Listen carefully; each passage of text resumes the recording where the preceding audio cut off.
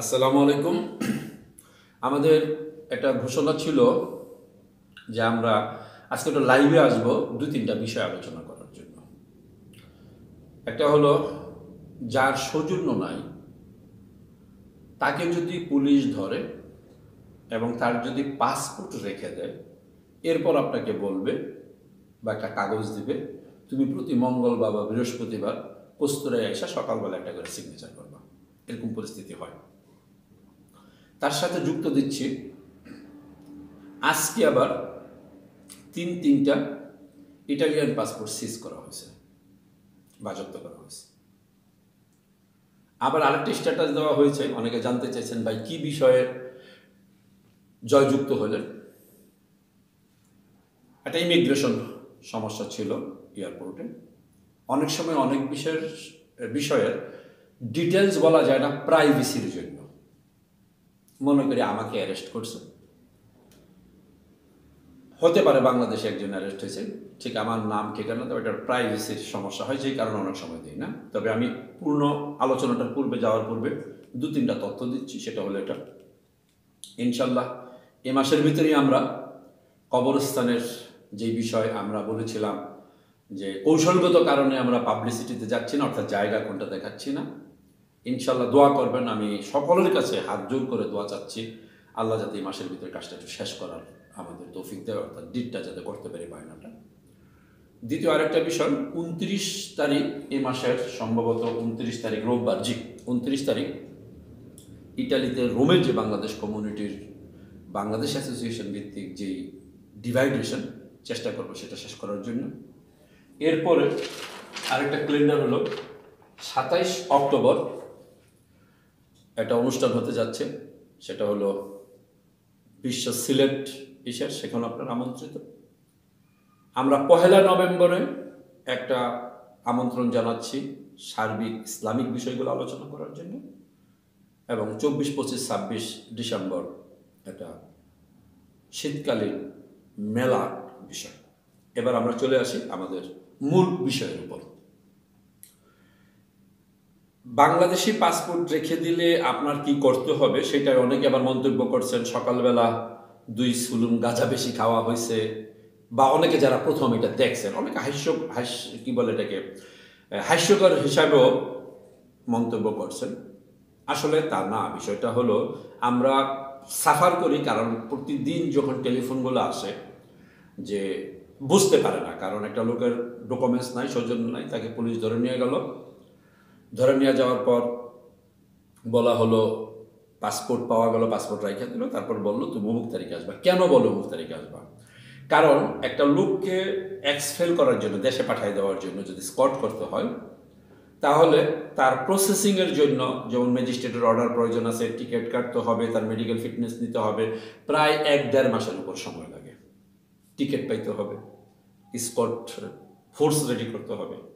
এখন যেহেতু আগে যেটাকে আমরা লাগার বলতাম, সেটা রোম এবং নিকটবর্তী এরিয়ার ভিতরে নাই, কারণ যেগুলো ছিল সেগুলা আন্দোলন করে ভাঙা হয়েছে কোনোটায় আগুন ধরায় দেওয়া হয়েছে ফলে ডিপার্টমেন্ট আনফিট সার্টিফিকেট দিছে যে এই জায়গায় কাউকে রাখা সম্ভব না, স্বাস্থ্য পরিবেশ নেই। ফলে যেহেতু তাকে ব্লক রাখতে পারতেছে না, অর্থাৎ আটকায় রাখতে পারতেছে না, কিন্তু তারা পাঠাইবে এই সিদ্ধান্ত তারা নিচ্ছে ঠিক ওই সময় তারা পাসপোর্টটা রেখে বলে তুমি অমুক তারিখ অমুক তারিখে আসবা। আর এই ফাঁকে ডিপার্টমেন্ট সব ফাইলগুলো রেডি করে। ইলেভেন্থ আওয়ার যেদিন লাস্ট তাকে পাঠিয়ে দিবে, সেদিন যখন সে পুলিশের কাছে যায়, তাকে আর ফেরত দেওয়া মানে তাকে আর বাইরে হতে দেয় না, সেখান থেকে সরাসরি এয়ারপোর্টে পাঠিয়ে দেয়। এটা আপনারা অনেকে জানে এই ঘটনা ঘটছে। সুতরাং যারা এই প্রচারটার বিপক্ষে বাজে মন্তব্য করছেন, আমি অনুরোধ করব যে আসলে আমরা সকলে অসুবিধায় থাকি, সুতরাং আমরা চেষ্টা করি কিছু তথ্য দিতে। এখন প্রশ্ন, যদি আপনার পাসপোর্ট রেখে দেয়, যদি আপনাকে বলে আপনি সিগনেচার করতে আসবেন অমুক অমুক দিন, আমরা পরামর্শ দিচ্ছি, আপনি যাবেন না। অনেকে প্রশ্ন করে, ভাই, যদি না যায়, পুলিশ যদি বাসায় আসে? আসলে যে কারণে পাসপোর্ট রাখছে যেই কারণে আপনাকে পাঠাই দিবে, সেটা কোনো ক্রাইম অ্যাক্ট না। যেহেতু কোনো ক্রাইম অ্যাক্ট না, সুতরাং প্রশাসন কখনোই, পুলিশ কখনোই আপনার বাড়িতে আসবে না, যেহেতু কোনো ক্রাইম অ্যাক্ট না। পুলিশ বাড়িতে আসার জন্য একটা ক্রাইম অ্যাক্টে জড়াইতে হবে এবং একজন ম্যাজিস্ট্রেটের অর্ডার লাগবে আপনার বাড়িতে আসার জন্য।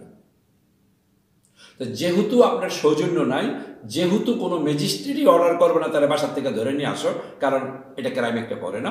সুতরাং আপনার বাসায় কখনো আসবে না। তারপরেও যদি মনে করি, পাসপোর্টের ভিতরে যে অ্যাড্রেস বা পুলিশকে যে অ্যাড্রেসটা দিয়েছেন সেই ভাষায় আপনি থাকেন। যদি একান্ত ভয়ের ব্যাপার, অন্য ভাষা চেঞ্জ করেন। আমরা অনুরোধ করব, আমরা পরামর্শ দিচ্ছি। যার সৌজন্য নাই, তাদেরকে যদি পুলিশ কখনো বলে যে আপনি আসেন অমুক তারিখ অমুক তারিখ সিগনেচার করার জন্য এবং আপনার পাসপোর্ট আটকায় রাখে, আপনারা কখনোই যাবেন না। এবার আসি ইটালিয়ান পাসপোর্ট আমরা বলছিলাম গত লাইভে আমি মনে করি পরিবার প্রধান, আমার একটা পাসপোর্ট আছে ইটালিয়ান পাসপোর্ট আমি যে কোনো কারণে নাগরিকত্ব পাইছি। এখন আমার রেফারেন্সে আমার ওয়াইফ বা আমার শিশু সন্তান, ছেলে সন্তানরা পাইছে। আমার যদি ডকুমেন্টসটা সিজ করা হয় কোনো কারণে, অনেকেই বলতে চাইছে যে অপরাধ ব্যক্তিগত। অর্থাৎ আমি অপরাধ করছি, আমারটা সিজ করছে। সুতরাং ছেলে সন্তান বা আমার পরিবারের প্রতি যাবে না। কারণ যার যার অপরাধ, তার তার পানিশমেন্ট হবে। অবশ্যই এটা যুক্তিসঙ্গত। যদি সেই অপরাধটা ফৌজদারি বিষয় হয়, তবে প্রশাসনিক অথবা দেওয়ানি বিষয় যদি হয়, তাহলে না, সেটার ওয়ারিশগত ব্যাপার হয়ে দাঁড়ায়।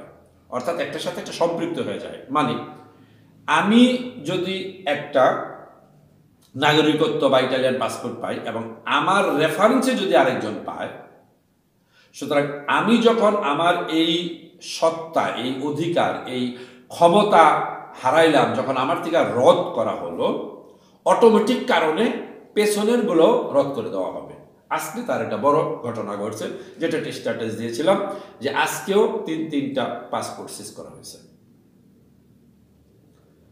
তো এই অবস্থার ভিতরে আমরা অনুরোধ করব পরামর্শ, যাদের ইটালিয়ান পাসপোর্ট আছেন, যারা বাংলাদেশ থেকে নিজ দায়িত্বে আপনারা আপনাদের ডকুমেন্টসগুলো রেডি করেন নাই, কোনো এজেন্ট দিয়ে ট্রান্সলেট করে আনছেন, ইটালিতে জমা দেওয়ার পর পয়সা করে দেওয়া যারা নিজেদের ফাইল মিনিস্ট্রি থেকে বাইর করছেন, আমি অনুরোধ করব সকলকে, আপনারা যে যেখানেই থাকেন আইনগতটা ব্যবস্থা নেন এবং আমরা কথা দিচ্ছি, যদি আপনারা একত্রিত হন, আমরা চেষ্টা করব, কারণ আজকে রোববারের বন্ধের দিনও আমরা একটা ডিপার্টমেন্টাল মিটিংয়ে ছিলাম।